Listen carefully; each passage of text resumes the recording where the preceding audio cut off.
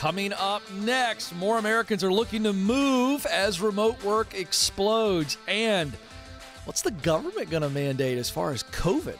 How will that affect jobs? And we take your calls. It starts right now.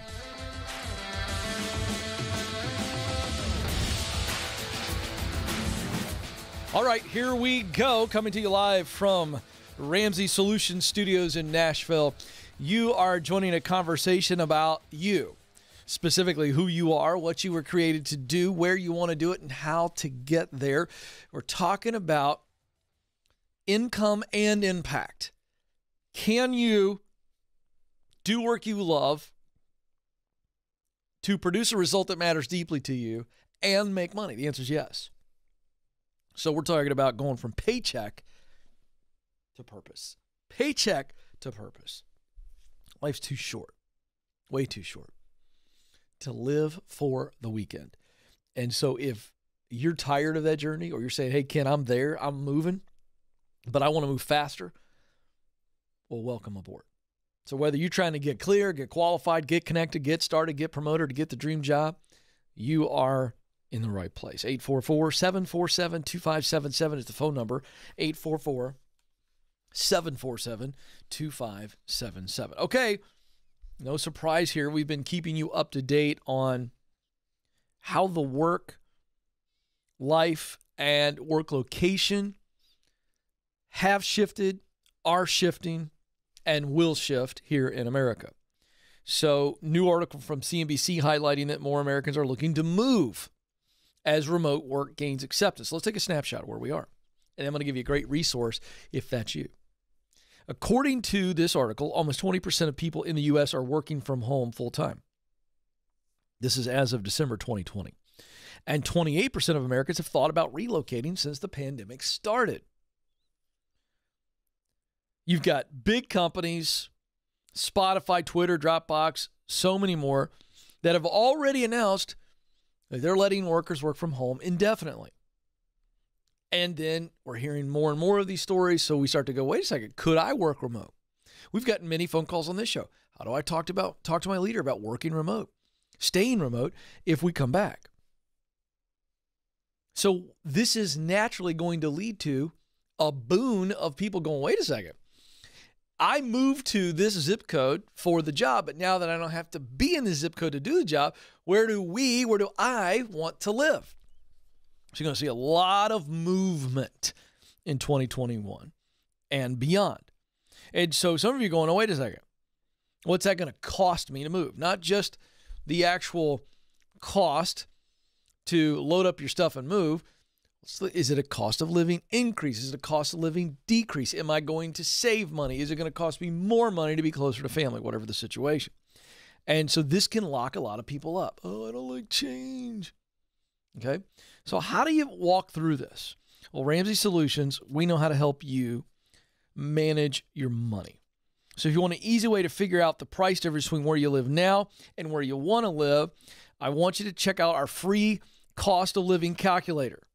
It's really simple to use. And all you got to do is enter the city you live in right now and then the city you want to move to and your salary. And our genius programmers here at Ramsey Solutions have come up with an amazing tool. And you're going to get numbers that compare housing, utilities, food, transportation, healthcare, and other miscellaneous expenses between the city you're in now and the city that you're looking at. And you can do this multiple times, of course. It's free. Did I mention that it's free? And most importantly, it's going to spit out for you the salary you need to make in order to be able to afford the relocation. So no longer is it guesswork. And this is what holds a lot of people up. Remember, I've said this a million times. Lack of knowledge leaves this vacuum in our heads and then it seeps down into our heart and we get terrified of something that we don't need to be terrified of. So the cost of living calculator, I mean, you're talking about practical, practical, practical, and you could truly figure out, wait a second. Can I do this? No, we can't. Better come up with a different plan. Or yes, I can do this. So again, it's the cost of living calculator under the free tools tab at ramseysolutions.com, the Ken Coleman Show, a part of the mothership here at Ramsey Solutions. Ramsey Solutions. Dot com, ramseysolutions.com. It's under the free tools tab, cost of living calculator. Go check that out. 844 747 2577 is the number coming up later in the program. We got some uh, Monday momentum updates from you, the people. That's always fun. And I'm going to break down some stuff in the news here that I'm legitimately concerned about. And I think you need to be aware of it because it affects you, the worker. And uh, it's going to be interesting to see what happens. So that's coming too. And of course, we're here for your calls. And you can jump in here in the chat room, and I'm checking out right now. If you're watching live uh, here uh, just after 12 Eastern Standard Time, give us a thumbs up. Subscribe if you haven't subscribed, and share uh, the show and the episode. All of those right below the video window, and just a click away. I want to say hey to everybody in the chat room, those that are watching and engaging. Always love. Every once in a while, I'll jump in and pay attention. Let's go to Michael to start us off in Denver, Colorado. Michael, you're on the Ken Coleman Show. Hello, Ken. How are you? Thank you for taking my call. I am living the dream. Michael, what's going on? So, my question, Ken, is how do I ask for a raise from a boss who's absolutely not fond of me? Sorry, I didn't expect that part of the sentence.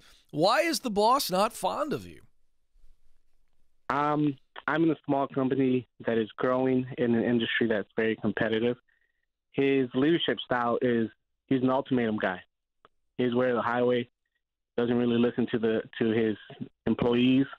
He's always right, never wrong, or does just want to hear any input. Mm-hmm.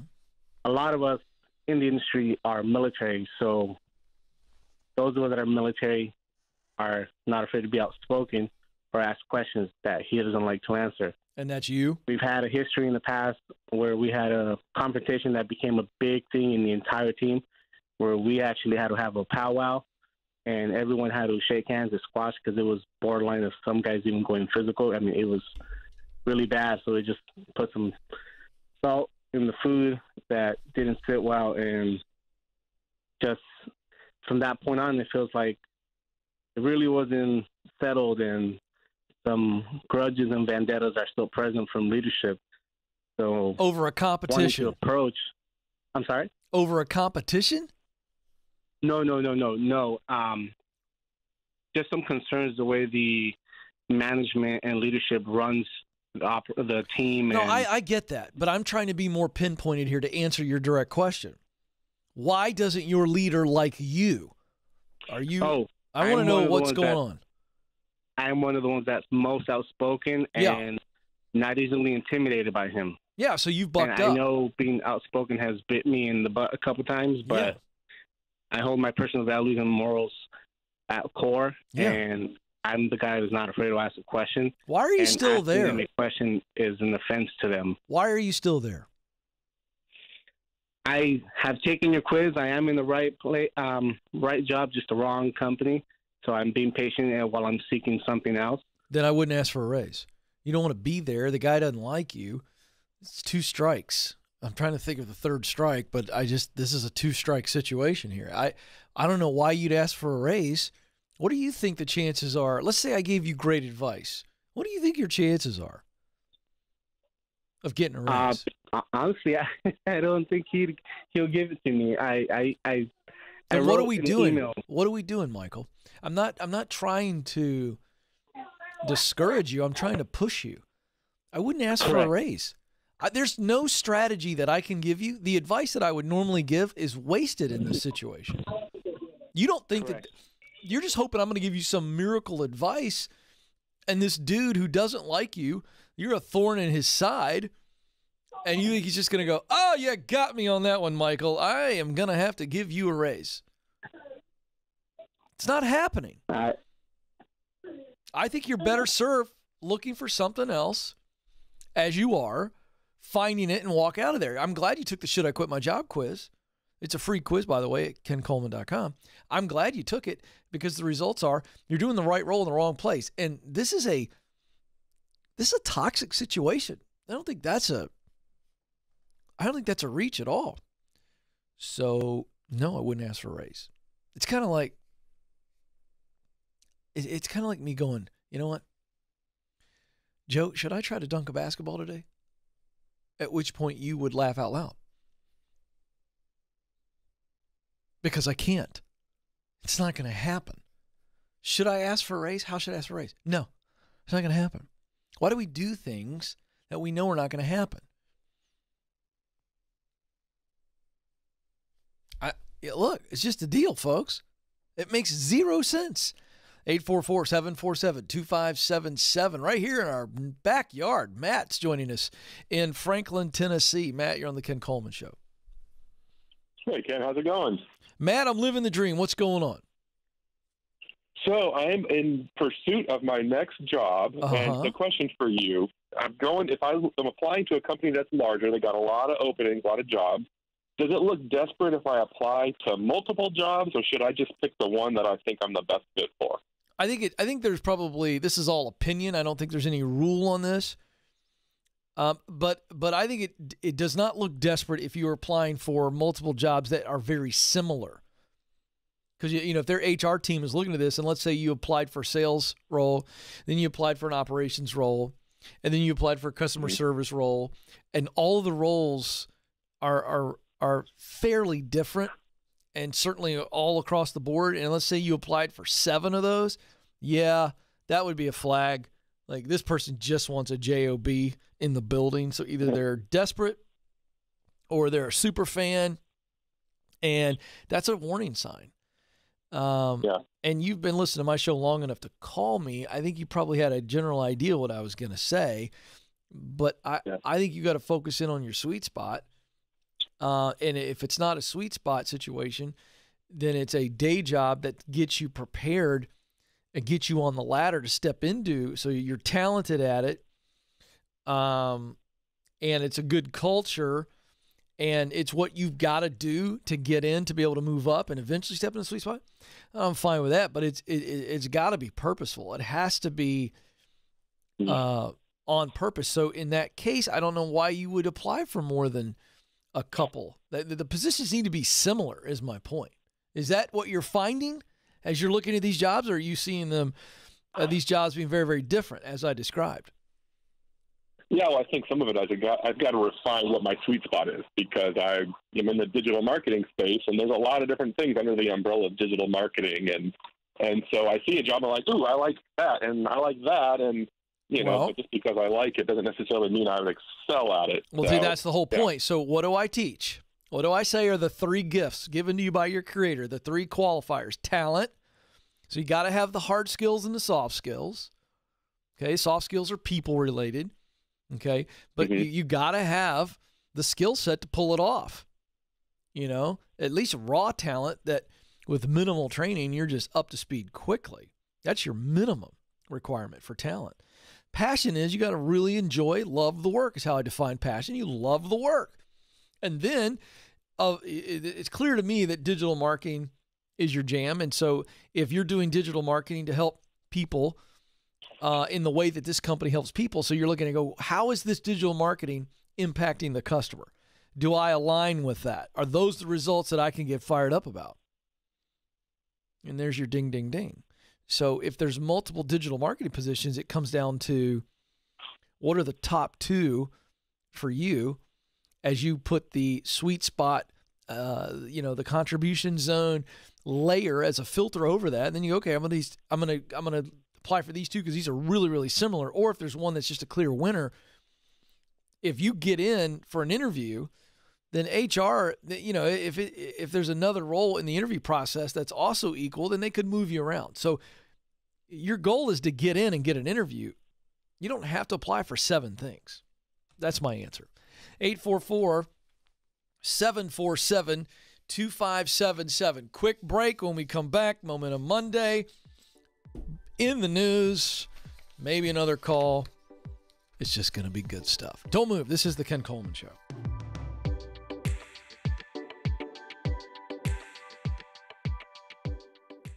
Our world is changing, but so are we. Now, we see a smile through someone's eyes. We conquer our struggles and cherish each moment because we are shielded through faith and assured by hope. And greatest of all, we love.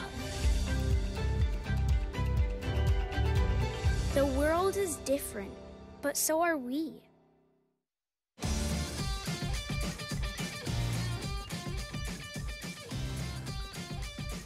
Welcome back to the Ken Coleman Show, where we help you get clear, get qualified, get connected, get started, get promoted, get the dream job so that you can give yourself away. This is how you should see work, not as this, well, it's just this thing I do to live, be able to live. No, no, no.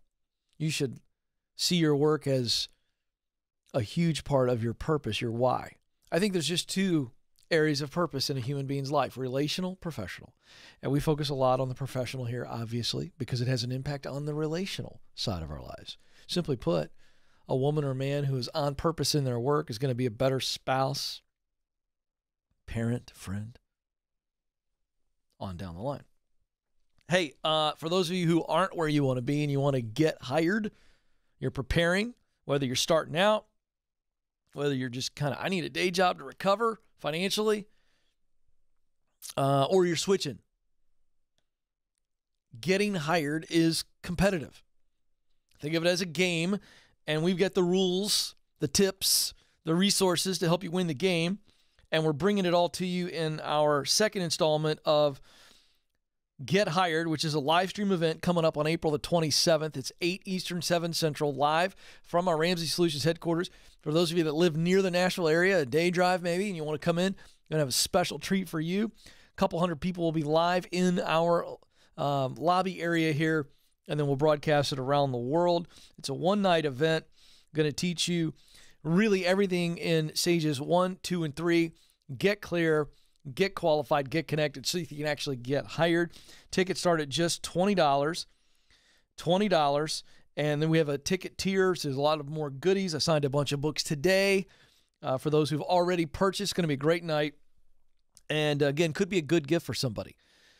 Again, the event is Get Hired April the 27th, coming up around the corner. Tickets start at just $20. Go to ramseysolutions.com slash events or Ken Coleman kencoleman.com. Either site uh, will get you there. And then click in the store if you go to kencoleman.com, ramseysolutions.com slash events, or kencoleman.com in the store.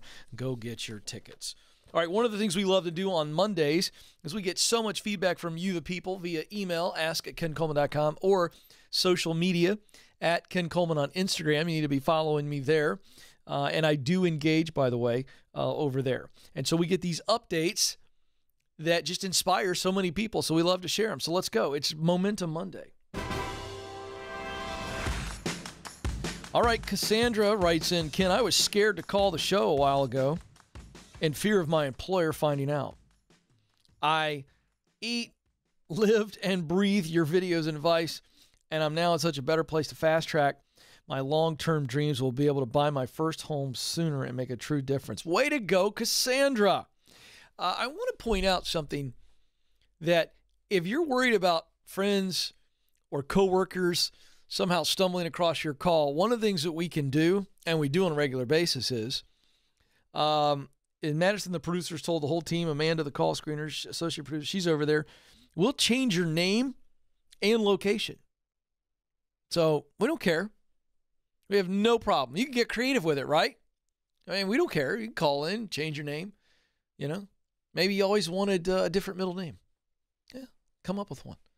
Maybe you've always wanted to live this this place. Just come on, I don't care. And so that way they'd have to literally identify your voice. Um, so understand that we want to protect you as well. So call in. Um, this update is from GF. Am I reading this right? Just GF. Okay, it's fascinating. I called two weeks ago about a plumbing position and I got the job. Just wanted to let you know, Ken. Way to go, GF. And then Asia or Asia uh, writes in currently doing rideshare, but I'm working towards my business idea that I've been thinking and drafting for the last five years. I love it. See, I love that. Here, here's Asia just going, you know, look, I'm actually taking some steps. I'm coming up with some ideas. I'm putting some plans in place to move forward and start the business I've always wanted to start. That's momentum. That's momentum. All right. It's time for In the News.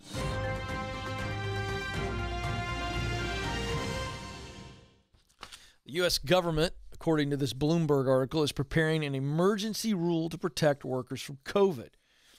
Several observers, uh, primarily legal uh, folks that pay attention to this kind of workplace policy, are paying attention, and this is what it might look like. The Federal Occupational Safety and Health Administration, known as OSHA, is preparing to issue new short term regulations to protect workers from catching COVID 19 on the job. Most private sector employers in the U.S. must follow rules for workplace safety set either by OSHA or by state run versions of the agency. Now, this all seems very boring for some of you. You're like, okay, Ken, you just told us about OSHA and COVID protections. Well, here's the deal you're talking about federal regulation that would force multiple things that employers would have to do, and many of them don't want to do it. And it also costs a lot of money, and it affects their employees, primarily mask in the office, uh, all kinds of other standards. And here's the deal you could be one of these people that go, hey, Ken, I think everybody should wear a mask in the office. Great. But what you've got to understand is, is where you got some people that go, I don't, I don't want to. I feel safe there. Uh, it doesn't matter what they think. Yeah, it kind of does because that affects the employer. Here's the point. I, I'm not worried about the, you know, the the continuous. I mean, it's it's it's on the mask thing. You know, it's I don't know if it's 50-50, 60-40, 70-30, 80-20. I don't know. I don't pay attention to it. But then there's going to be other things that are going to be implemented, certain type of cleaning. And I don't know if you saw this, um, but the CDC came out last week and said that um, there is very little evidence of any spread of COVID based on surfaces. So all of the spraying surfaces and spraying desks down and all this kind of stuff. This is what the CDC said. Look it up. So, where does it end? And is this the new normal going forward? Every time flu season comes around, we've never done this before. We got a bunch of scared people. I don't know where it's going, but here's what I do know. Uh, anything that comes from the federal government on this has state implications and states choosing whether or not they're going to abide by this and implement it um, and you will see lawsuits on this. And and not like people that are anti-health, but just going, look, this this puts a tremendous burden on business owners. And if you increase costs there, or you have a lot of employees that go, look, I'm not going to do this. I'm leaving. You could lose talent over this. So, whatever your opinion is uh, on mask or no mask, how long you should wear them, blah, blah, blah, blah, blah. You know, who are you waiting on to tell you it's safe to live? I don't know what your position is. I really don't care. I'm not going to argue with you for two seconds. But what I'm telling you is the Biden administration is pushing this. Something's coming down. This thing will be fought and it will also be applied in some places, and it's going to increase costs. It's going to cause tension in the workplace. So, why do I even bring this up? Because the people still have power. And your leadership in your company needs to hear what you think. Your congressmen, congresswomen, senators, governors, they need to hear what you think. They all care ultimately about one thing, and that is staying elected. Don't forget that. That's my point. I personally, no idea when all this ends. I, I really don't. I mean, like, at what, at what point, Joe? By the time we get there, in the fall, then what's the next strain? What's the next thing that comes down the line? Um, and I, I got to tell you, I, I think some people will politicize this, uh, not for power, but for, I think you're going to see unions. I think you're going to see a lot of employee organizations. You're going to see employees individually try to power, try to use this as power to stay home and never go back into the office, which again, all, all the power to you. But what I don't like is when government gets involved – and increases costs for biz- costs for business owners. Because here's the deal: whether you agree with my opinion on this or not, you cannot dispute the fact that when government puts regulations in place that cost businesses more money, those costs get passed on to the consumer, which means it's more expensive for you to live and purchase. And secondly, it cuts jobs. It just does. So you can say whatever you want about my opinion or my philosophy, but I can tell you my reason for it. I want as many people as possible to be able to work, do work they love, excel in that work, and make the difference they were created to do. And when government interferes with that, I'm going to speak up. I'm going to speak up. Let's see what the chat room says, shall we? Uh, let's see. Christopher says too much federal government control and it's going to hurt the economy and society. I agree with you, Christopher. Uh, so there you go. Um, do you want to decide what it means to be safe? Uh, or do you want your leaders to decide for you? Political leaders. Now, if company leaders decide to do something, that's that's part of the deal. Uh, I, whether I agree with it or not, that to me, it's like that's the private sector doing things the way they want to do it. You have every right to do it, whether I agree with it or not.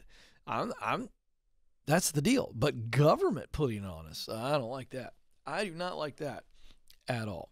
844 747 2577. Let's go. Wow, we got some local calls today. Let's go to Nashville where Nicole joins us. Nicole, you're on the Ken Coleman Show. Hi, Ken. This is Nicole. How are you? I am living the dream, Nicole. How can I help you? Um, well, I currently work for the federal government. Um, I'm also a veteran. Oh, thank and you for your service. Out, oh, you're welcome. It was an honor. When I got out of the service, I wanted to work um, in the VA, a federal sector. And so I got out. Um, Ten years later, I finally got in, and I took an entry level position, mm-hmm. very entry, like thirty thousand dollars entry. Mm. Um, but I have a master's degree. In what? So, in healthcare administration. Okay. And I try to apply for higher positions within the federal government, but due to my GS level, mm-hmm. I can't advance. Yeah. Um, so my question that I battle with is should I stay with the federal government and try to find like career ladder positions where I can go for seven, nine, then from a nine, 11, 12. Mm-hmm. I'll go back into the private sector. I worked in clinical research at one time, and um, I made a pretty decent salary. Yeah. Or stay with the federal government because of the good benefits and just put it put as much in my TSP as possible. I think it's uh, very simple to answer that question for yourself, and I have two questions to allow you to do it. Question number one is, do you want to make more money and bet on yourself? Mm-hmm. I like to make more money. Yeah, that's betting on yourself. So I'm gonna. Uh, do you want? Do you believe that you can grow your skills and grow your contribution and thus make more money? Do you agree with that? Yes. Okay. Do you want to be um, stuck in a uh, in an environment where getting promoted has nothing to do with your output, but all about the politics and the rules? No. Okay, so the answer is private sector. Because here's the deal you think those government benefits are worth staying stuck, mm-hmm. and they're not. Mm-hmm. They're just not. Those government yeah. benefits, not that great. I don't think it's worth the trade off because the trade off is you will be promoted way less quickly, mm-hmm. maybe not even at all, because it's so political. And yeah. it's just put your time in. It has nothing to do with how well you do. But you go to the private sector and you crush it with that master's degree, there's no stopping you, mm-hmm. Nicole. They'll move you up and you'll be making so much money, so much more money than the $30,000 yeah. that the benefits whatever the trade off is, and well, it cost me a little bit more in benefits, but it's not going to make any difference. You won't even feel the difference. Okay, yes, that's good advice. I just yeah, I listen to a lot of people that work there, and they pretty much oh the benefits, the benefits. So it kind of you know, you know why? You, I'm so glad you brought yeah. this up. Do you know why that they say that? Why do you think I that's don't. what they? Yeah, you do. I want you to think about it for just a moment. And if you don't know the answer, if you can't give it to me, that's fine. I'm going to tell you. But I really want you to think for a moment.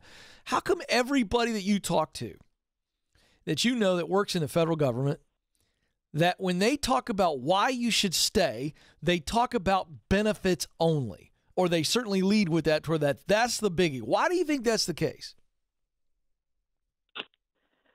I hear a lot of people say um, it's because it's like a given. Um, they they know their job is secured. Um, the benefit's going to be there. That's it. That's the reason. Those people are scared to go Yeah. for it. They are Yeah. all about safe. I just want to be safe. Mhm. I just want to. I just want to keep this pace. Not really looking to advance. I just want average. Yes. And I'm like, are you thinking about retirement? You know? No, they're not. They're just They're thinking not. about keeping the lights on and keeping the table full. Do you want to advance? You got a vision for your life, Nicole? I do. Do you want? I Do you want, uh, uh, Nicole? Uh, do you ever ask yourself, should I go to an average restaurant tonight, or should I root for an average sports team? Should I go to an average musical concert? Do you ever say those things to yourself? yes. You Yeah. do. Uh huh. You want to go? You want to go to average things? It's well, job wise. I didn't ask you that. Job, I'm like, I want, I want the best. Yeah, I that's know what what I can offer. So that's what I'm saying. You you misunderstood what I said. You don't say Yeah. I just want to go to an average vacation. You go you want a great vacation. You want a great Yes, I want restaurant, right? yes, the best. These people are okay with average. If you're okay with average, the federal government is for you. But if you want to rip the lid off of your life and get after your dreams, then leave. Federal government is not where you want to be. I can just tell you. I know I can hear it in your voice. Nicole, it, it comes down to that. Anytime I hear somebody go, well, the benefits are really great. Here's what they're basically saying. And I'm not saying Nicole's saying this, but but this is the mindset that people have. You know what? I'm going to have a pretty average to below average work experience, but boy, do I have some good health care. You're going to need it because you're going to be miserable and then you're going to overeat, overdrink, create all kinds of healthcare problems. Oh, Ken, that's a bit of a leap. Is it? Is it? What do you want to do? Do you want to get to the end of your life and go, you know, as I look back on my career, I didn't really do anything that excited me, didn't really accomplish anything that mattered to me, but I'll tell you this I had some great benefits. I mean, they're laughing in the control room, but that's what that is saying. Yeah, I, I didn't do what I was created to do, but I had great benefits. Yeah, when I went to the hospital, you wouldn't believe the amount of popsicles that me and the family got. And and and, and the hospital stay 50% cheaper than all the idiots that enjoyed their life. I saw these people living the good life. Then I saw them in the driveway. How much did you pay last year for your health care? you idiots. I, I mean, come on, folks. Really? I'm going to have a substandard salary and an average to below average life, but I'll tell you this much. When I start to break down and die, I'm going to die well. I mean, that's what we're saying here. That's crazy. Not me. I, I want the wind blowing through my hair. I want to have a blast. Did was he pain? Was it painful when you died? Yeah, but boy, it was fun getting there. I don't want to linger anyway. Well, you know, Ken, when I get old, I'd like to know that there's a bed for me. I'd like to know that the bedpan is going to be larger than everybody else's bedpan. A little too soon, Joe. That, that one got that was too close for Joe. But I mean, come on! I'm trying to get your attention here. What are we talking about? Let me tell you what this is about. Anybody that's telling you, don't you leave this job because the benefits are so good, is because they're coming from a place of fear themselves and they're not abundant thinking. They're just not. There's no abundance to say, hey, this is out here if I go for this. So there you go. All right, my time is almost up. But before I let you go, I want to remind you that you matter and you do have what it takes. Thank you for joining us. Until next time, this is The Ken Coleman Show. Press on.